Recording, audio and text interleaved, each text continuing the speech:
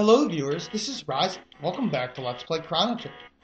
And today we're going to finish this side quest. So, I brought in uh, Lucca, uh, Marle, and Ayla. Well, I kept Ayla. And, uh, Magus is a possibility, but Lucca's actually still a little bit stronger than him with Flare over Dark Matter, just because Flare has a higher base power. And Magus's magic isn't quite high enough to where it can compensate, but they're both virtually the same.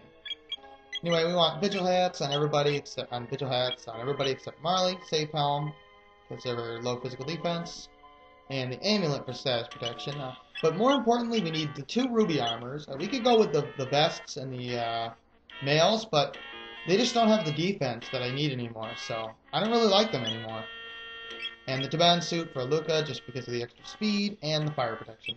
Gold stud on Lucca. You could also go with the sun shades, but I like the gold stud a little bit better here. And the charm top, because we're going to be stealing.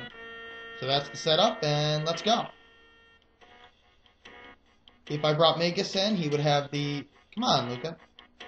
Okay. There we go. Yeah, Magus would just have Lucca's set up. And he'd have his own, you know, ultimate equipment. Oh, come on, you're not just going to let us walk right by? Yeah, that could be that easy. But no, you'd, you'd have to, uh, just give him the gold stud or the sunshades. Either way is fine, really.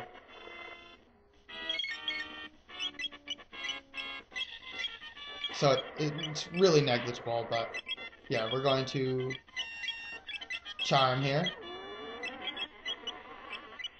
And I should have used Antipode 3 there. I don't really know why I didn't, but well, I didn't.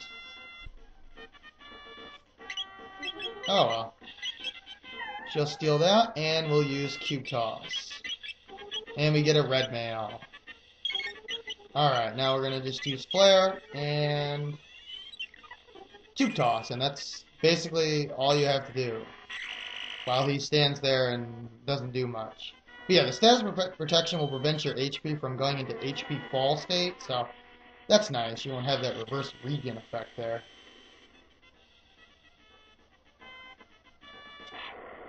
He'll probably get one or two of them off, and he does have some of that, that draining attack there, but I don't really care about it. Yeah, I meant to use Antipode 3 at the start of the battle because what you do is you charm and then you use Antipode 3, and Antipode 3 is okay. It's, it's not bad. It's pretty good. But uh, it's not up to, quite up to Cube Toss, but combined with Flare, but you know, it's not bad. Uh, Perhaps triple kick and antipode 3 is another way to go. I'm not really worried about him doing much of anything. I've got protection from fire, so I really don't care. He won't really be able to do a whole lot to me.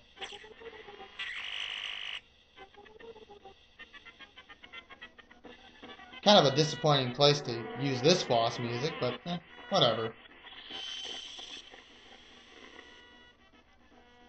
Yeah, there's really not a whole lot to this boss fight. Maybe I should have given Lucca the stun shade just to end this quicker, but... No, because then I'd have to restore her MP, and that would cost me some turns. But I suppose, uh... A good blaze kick while uh, Lucca did that could be another way to go. Not Lucca, Marle restored Lucca's MP. This guy is quite pathetic. Now, an interesting thing about him is when he does get to zero, he'll start counting down again, but he gets some strange power up that the next uh, time he does it, it will be stronger, and eventually you won't be able to survive it. But, you know, he just doesn't have enough HP to take advantage of that. So, ow. Yeah, a little bit worried about that. That's really the only thing that I really care about. But, yeah, I'm not even going to bother healing. I'm pretty sure that's weighed against your physical defense, which is why I like the... Oh, wow, they killed her. Yeah, I got a little bit unlucky there, but, yeah. Oh, well. Just revive her and go from there, I guess. Usually he'll attack two separate people, which is why I didn't really care. Still not a big deal, because he shouldn't get another thing off. Little flame attack there.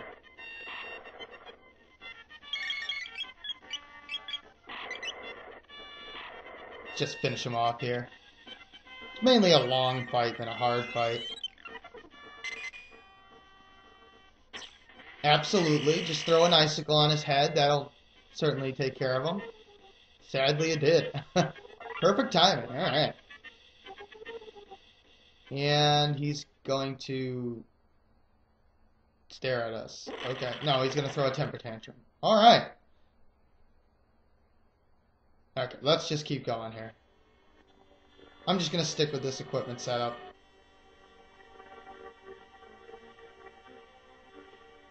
Oh, that didn't work at all. How does Ayla even know about those people?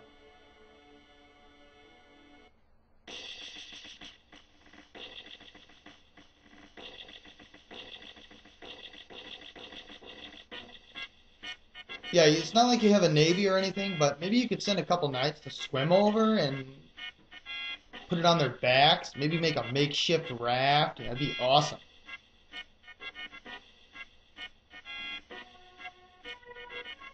I really don't get. You know what? Just send Wilson over there. He'll take care of it. yeah, I, I, don't know how they exactly get it back to the castle, but eh, whatever. Let's go back to the. Now let's just use a shelter just because I need it. Alright, let's, uh... Yeah, yeah, I'm gonna rearrange my equipment, so I'll be right back. Yeah, I just gave, um, Ayla the Zodiac Cape. Just figured I'd at least go ahead and do that. Okay, let's go to the castle. Too bad we can't get any awesome equipment from the Rainbow Shell. Nope, can't do it. Wait, what? That doesn't make sense at all. You know, let's rearrange the party setup here. Okay. Why is the king on trial? Let's find out. Oddly enough, if you hadn't triggered that earlier cutscene with the king, that would happen now, and it really wouldn't make a whole lot of sense. I mean, with the chancellor.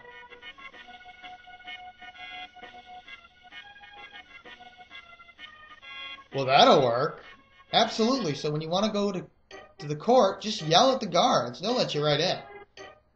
Rainbow Shell? Okay, um... What is the whole premise of this crime? Basically,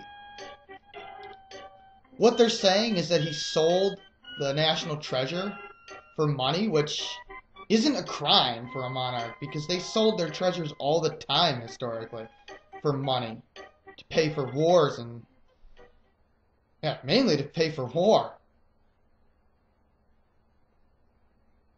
But what is his crime here? Engaging in capitalism? Isn't he the king? Wouldn't Guardia's treasures belong to him? This doesn't make any sense. This is one of the most illogical series of events I've seen in a video game, and I really hate this part of the game.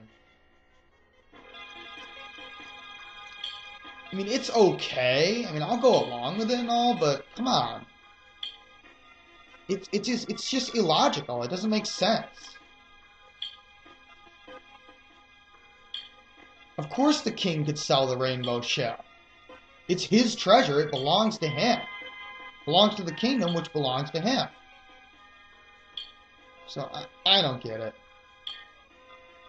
Whatever, it's not important. Let's go to the basement. If you tried to come here earlier, this guy would be in your way. Yeah, these guys are exactly the same. So I'll just be editing out all the battles here. They're the same as the cathedral enemies. Alright. Let's keep going. I do like the transition between the scenes. It just doesn't make any sense. I mean, this should not be a crime for a king.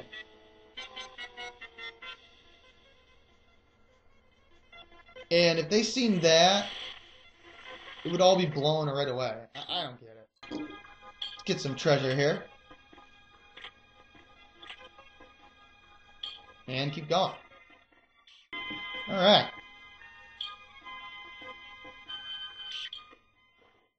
Okay, let's keep going. Okay, let's go through these doors and open this chest. And there's the rainbow shell. But, you know, that's about all the time I have for today. So I hope you guys enjoyed this episode of Let's Play Chrono Trigger. And I'll see you next time when we finish the most illogical subplot I've ever seen. But, so yeah, look forward to that, I guess. Take care. And don't sell your family heirlooms. It's illegal, I tell you.